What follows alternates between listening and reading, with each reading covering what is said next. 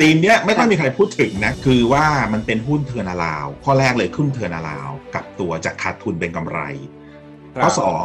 หุ้น transform ก็คือเปลี่ยน business model อ่าอ่าอ่าค่ะเอ่อสมัยก่อนเนี่ยเน้นทำไอ้โรงไฟฟ้า ชีวมวลชีวภาพ แต่ครับปรากฏว่าทำแล้วไม่สำเร็จเจ๊งอืมขาดทุน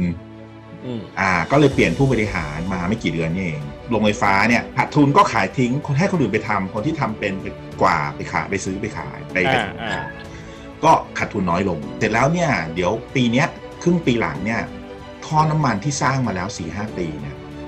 จะขึ้นละแล้วเขาก็มีการล็อกวอลลุ่มเอาไว้แล้วประมาณ 2,000 กว่าล้าน ตอนเนี้ยมันเป็นโอกาสทองของท่อน้ำมันเลยที่ขึ้นมาอืมเพราะว่าราคาน้ำมันแพงนะครับ แล้วก็ รัฐเนี่ยก็อยากจะลดจำนวนรถบรรทุกลง เพราะว่าเอ่อจะได้มีความปลอดภัยในการขนน้ำมันมากขึ้น แล้วก็ต้นทุนเนี่ยในการส่งท่อน้ำมันเนี่ยถูกกว่าน้ำมันกับเท่าหนึ่งครับต่อลิตรนะครับ วันนี้เราเรามาตีมนี้ครับ ครับตีมท่อน้ำมัน ท่อน้ำมัน อ่าตีมเนี้ยไม่ค่อยมีใครพูดถึงนะคุณเอกอ๋อซึ่งมันก็มีแค่เจ้าเดียวหรือเปล่าที่เติมน้ำมันในสองเจ้าในสองเจ้าสองเจ้า เออ ตัวที่เจ้าหนึ่งเออ ตัวที่หนึ่งนะครับ ก็คือ PSTC วันนี้ก็คืออ๋อาเพราะอะไรครับอ๋อเพราะ PSTC เนี่ย ผมผมมีเชียร์อยู่สักสองอาทิตย์แล้วค่ะครับก็ขึ้น power มาเยอะ solution ขึ้นมาเยอะขึ้นมาเยอะ Technology ละคือว่ามันเป็นหุ้น turnaround ข้อแรกเลยหุ้น turnaround กับตัวจากขาดทุนเป็นกำไรครับข้อสองหุ้น transform ก็คือเปลี่ยน business model อ่าอ่าอ่าค่ะเอ่อสมัยก่อนเนี่ยเน้นทำไอ้โรงไฟฟ้า ชีวมวลชีวภาพ แต่ครับปรากฏว่าทำแล้วไม่สำเร็จ เจ๊งอืมขาดทุน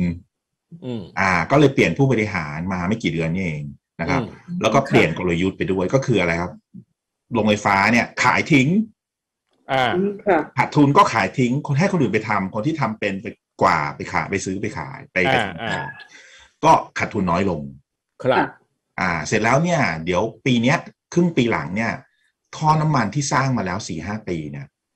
จะขึ้นละ แล้วเขาก็อืมมีการล็อก volume เอาไว้แล้วประมาณสองพันกว่าล้าน ซึ่งเกิน break even นี่สำคัญเขามากเขาทำเพราะท่อว่าจากไหนไปไหนอะพี่หมู จากเอ่อจากจะไม่ได้สระบุรีหรือไงหรืออยุธบางปะอินอ๋อจากบางปะอินเนี่ยลากไปถึงขอนแก่น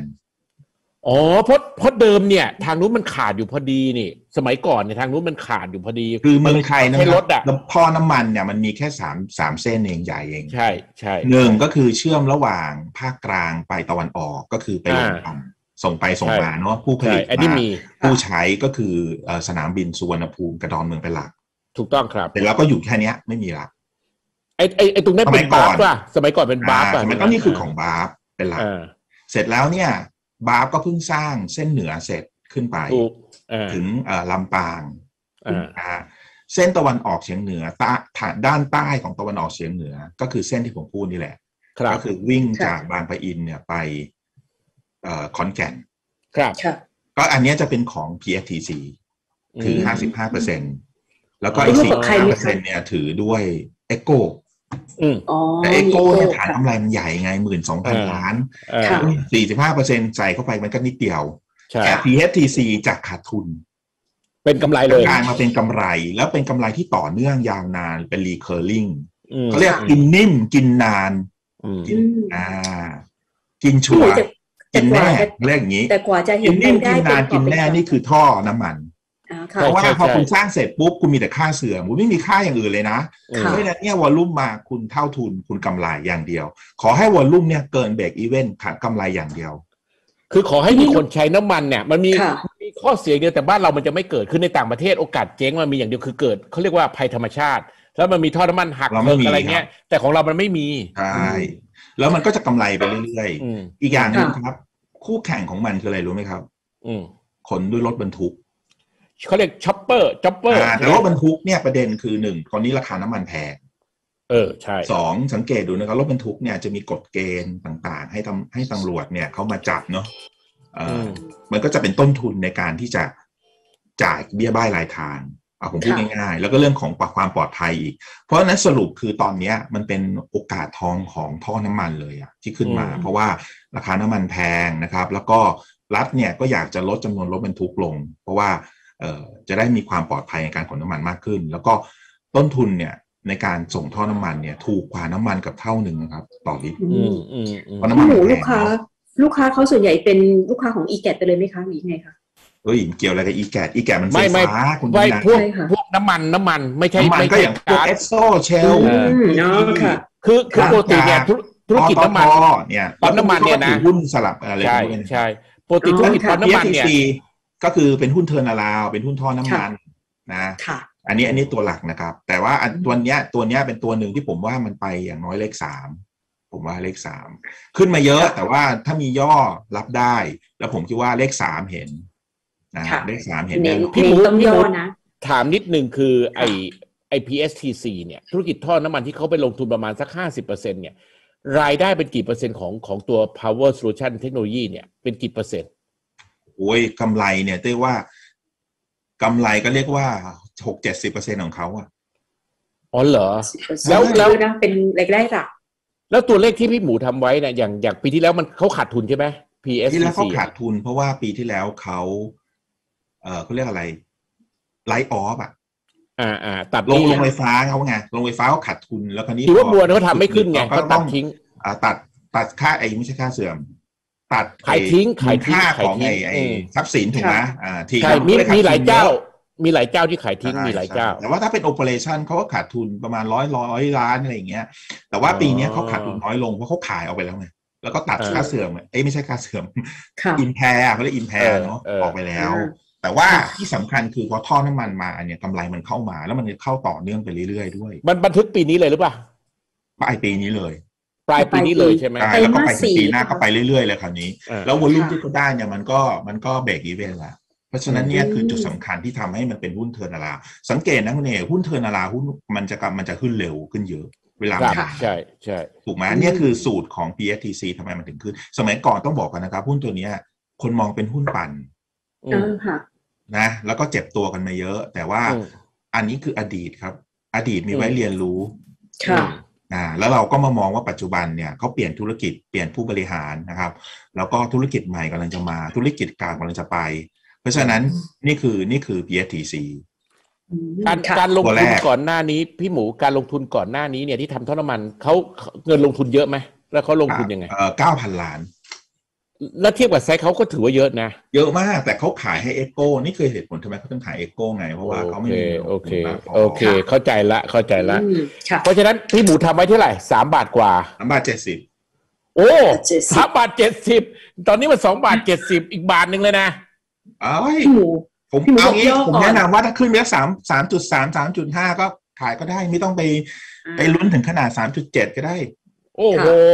สามสิบเปอร์เซ็นในช่วงเวลาอย่างนี้ถือว่าไม่น้อยครับ ไม่น้อยแน่นอนแต่พี่หมูบอกเมื่อสักครู่นี้ว่าถ้าย่อรับดีกว่า ยังไงดีครับก็มันขึ้นมาเร็วย่อดีกไงาวันนี้อืมขึ้นมาหกเปอร์เซ็นก็ค่ะผมไม่รู้หรอกคือบางทีมันก็ขึ้นต่อได้โมเมนตัมบางทีมันก็มาค่ะแล้วหุ้นมันก็ไม่ได้เป็นหุ้นใหญ่หุ้นหนักอืมนะอืมมันก็เป็นไปได้ค่ะเป็นไปได้ นี่ผมไม่ทราบ แต่ว่า เอ่อผมว่าถึงย่อก็ถึงย่อก็ขึ้นยาวอ่าอ่าฟังอย่างนี้จะได้สบายใจไม่มีค่ะไม่มันไม่ใช่หุ้นย่อเมื่อย มีไม่เก้าย่อี้อรองนารับนมีเก้าอี้รองรับแล้วกัน ไม่ไม่แต่ตีมาได้ตีมาได้ท่อน้ำมันตีมาได้ อ่ามีค่ะมีอีกตัวหนึ่งอ่านี่มีสองตัวผมว่าได้ผมค่ะนี่คือทีมท่อน้ำมันใช่ไหมคุณเอกผมเปิดค่ะเมื่อกี้บอกแล้ว วันนี้อีกตัวหนึงคือบาร์ฟอันนี้น่าสนใจกว่า โอ้โหครับบาร์ตัวใหญ่ตัวเล็กมาหมดพีเลเอยทีซีว่าน่าสนใจบาร์ฟน่าค่ะสนใจกว่า เพราะสามเหตุผลใหญ่เลยค่ะเหตุผลที่หนึ่งBAFS ก็มีท่อน้ำมันสองชุดใช่เยอะกว่าพีเอทีถูกซีต้องถูกต้องค่ะแล้วถูกต้องเสร็จแล้วด้วย ค่ะครับกำลังนี่กำลังกอบโกย อยู่ในเขาเรียกภาษาภาษาชาวบ้านเราเรียกว่า อยู่ในขั้นกอบโกยอ่าอ่าไม่ใช่ขั้นโกยแล้วโยมนะครับ ขั้นกอบโกยค่ะแหม่อะอันนี้คือประเด็นที่หนึ่งนะครับครับแล้วก็มันก็จะมีกำไรเพิ่มขึ้นไปเรื่อยๆนะครับสามปีห้าปีจากเนี้ยจะมีความชัดเจนนะครับค่ะประเด็นที่สองเป็นหุ้น turnaround เหมือนกัน ครับ เพราะว่า BAFS เนี่ยขาดทุนมาสองปี ในประวัติศาสตร์ไม่เคยขาดทุน พอมาเจอโควิดค่ะขาดทุนเลยค่ะคนใช้น้อยไงสนามบินไม่มีบินแน่นอน เพราะว่าเอ่อไอ้ไอ้น้ำมันเครื่องบินมันไม่มีใครเติมไงใช่ใช่แต่วันหนึ่งเนี่ยเติมสิบห้าล้านลิตรต่อวันนะอืมเหลือสองล้านอ่าก็เลยขาดทุนเหลือสองล้านมันจะไม่ขาดทุนได้ยังไง ตอนนี้ก็ขยับขึ้นมาสักสี่ล้านห้าล้านละครับผมก็เลยจะบอกคุณว่า break even อยู่หกล้านเจ็ดล้านเองนะเจ็ดล้านผ่านน่าน่าจะผ่านอยู่แล้วแหผละมบอกว่าน่ถ้าผ่นเปิด เปิดภูเก็ต เปิดสมุยนะผมว่ามันก็ break even แล้ว ใช่อืมซึ่เบรกค่ะ even ปุ๊บคราวนี้มันจะกลายเป็นหุ้น turnaround เลย แล้วคราวนี้อืมหุ้น turnaround เนี่ยขึ้นขึ้นแรง หุ้นตัวนี้เนี่ยน่าสนใจ เพราะว่าเป็นหุ้น turnaround เป็นหุ้นท่อน้ำมันเหมือน PSTC มะอ่า เหมือนแต่ใหญ่กว่า ข้อสามคล้ายอีกคือเป็นหุ้นที่ปรับ business model CEO คนเดิมไหมคนเดิมแต่ว่าสิ่งที่เขาเปที่ลี่ยนที่เป็นหม่อมใช่ไหมที่พอสองปีที่อะที่ใช่แกเป็นหม่อมสองใช่ไหมปีที่แล้วอ่าเนี่ยเขาไปเจอ โควิดใช่ไหมเขาก็เลยเออมานั่งคิดว่า เอ๊ะตัวเราเนี่ยต้องมีการ diversify แล้วไม่งั้นไม่ได้ เราเรามีเงินเข้ามาตลอดจริง แต่ว่าอยู่ดีๆ ไปเจอโควิด เปี้ยงอย่างเงี้ย ไม่ได้ เขาก็เลยไปซื้อนะครับโซลาร์ฟาร์มอ่าอืมเข้าค่ะมาเพราะฉะนั้นวันเนี้ยธุรกิจเขาก็จะมีสามขาขาที่หนึ่งเติมน้ำมันเครื่องบินอืมอันนี้กินอืมนิ่มเพราะอะไรครับรายเดียวเลยนะราคาไม่เติมน้ำมันไม่เกี่ยวกับเขานะเขาอะค่ะเอาน้ำมันมาเติมไม่เฉยเขาคิดค่าน้ำมันค่ะคิด ลิคิดตรหนึ่งเขาเรียกคิดค่าเติมมั้งอ่า คิดน้ำค่าน้ำมัน เพราะฉะนั้นเนี่ยอืมที่สุวรรณภูมิเนี่ยเขามีมาเก็ตแชร์ประมาณเจ็ดสิบเปอร์เซ็นครับที่ดอนเมืองเขาทำคนเดียวอืมอืมค่ะ เพราะฉะนั้นเนี่ย volume มากำไรเกิด อันนี้ไม่ต้องห่วงเลยนะครับอืมแล้วใกล้ใกล้ break even แล้วด้วย volume ค่ะอันที่สองเนี่ยครับเชิญครับ อันนี้ตัวแรกเลย อันที่สองนะครับเขามีเอ่อธุรกิจ อันนี้เติมน้ำมันตัวแรกใช่ไหมครับใช่ตัวครับที่สองเนี่ยเขาจะเป็นเรื่องท่อน้ำมันที่ผมพูดไง อืมอ่าอืมค่ะท่อน้ำมันนี่ก็กินนิ่มเหมือนกัน เป็น volume ภาษาอังกฤษเราเรียก volume driven fee basedอืมก็คือ volume มากำไรเกิด ชาร์จอืมต่อหน่วยไปเรื่อยอืมๆ margin คงที่ไม่ได้ไม่ไม่ได้เพิ่ม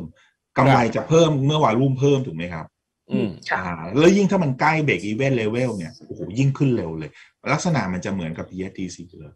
นะครับ แต่ว่าสิ่งที่น่าสนใจกว่ามันเป็นหุ้นเปิดเมืองด้วย หุ้น tourism อ่าเพราะอะไรครับอืม เพราะน้ำมันเจ็ตน้ำมันเครื่องบินเนี่ยมันไม่ได้เอาไปทำอย่างอื่นเลยยกเว้นเอาเครื่องบินใช่อย่างเดียว ใช่ เพราะฉะนั้นค่ะถ้าคุณเปิดเมือง คุณเปิดท่องเที่ยว คนน่ะลืมหุ้นตัวนี้ไปนะไปอ่าคิดว่าเออหุ้นเปิดเมืองคืออะไรครับ คือโรงแรมแต่คุณสังเกตนะหุ้นเปิดเมืองที่ขึ้นไปแล้วนะที่ผมเคยเล่าวันอ่าสัปที่สองอาที่ก่อนคุณอะไรครับ BA จำได้ไหมอ่าไปสิบบาทแล้วอ่าอ่าหุ้นอะไรอีกครับ AOT ก็ขึ้นไปแล้วนะครับหุ้นเปิดเมืองนะ อืมมินท์แอก็ร์เอขึ้นเชีไปยแล้วนะค่ะ สามสิบกว่าบาทแล้วนะค่ะอ่าอืมบาฟยังไม่ค่อยขึ้นนะคุณกดดูดีใช่ใช่ใช่บัสยังไม่ค่อยขึ้นเพราะคนไม่รู้จัก ค่ะว่าคนลืมไปแล้วด้วยมั้ง